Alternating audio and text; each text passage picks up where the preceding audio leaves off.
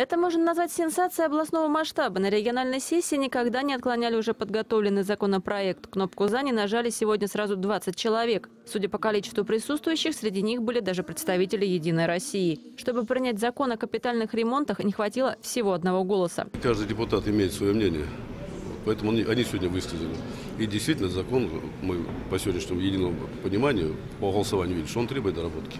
Вице-губернатор Руслан Губайдулин, он курирует в регионе сферу ЖКХ, буквально на коленке объясняет журналистам, чем грозит такое голосование. Регион может не получить на следующий год деньги с федерального бюджета на переселение из аварийного ветхого жилья. Во всех регионах Российской Федерации закон принимается с трудом.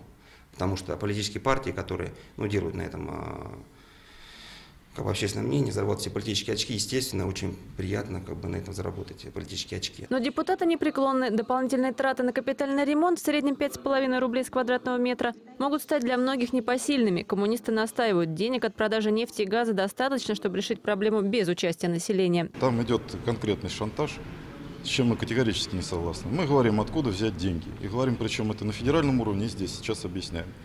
Когда выйдут на площадь 30 тысяч жителей Липецкой области, кто будет им объяснять, за что с них взимают эту плату? Либерал-демократов неприятно удивило то, в какой спешке принимался законопроект, ведь он, по сути, главный в этом году. Он вообще должен был обсуждаться как минимум за год. То есть должна была быть полностью прозрачная схема. Кто будет отвечать за эти деньги, какие структуры, э, то есть какой бюджет, то есть ничего этого мы не увидели. То есть бабушка сегодня продолжит платить все свои платежи, хотя, понимая, собираемость будет не больше 50%, и она не получит свой ремонт.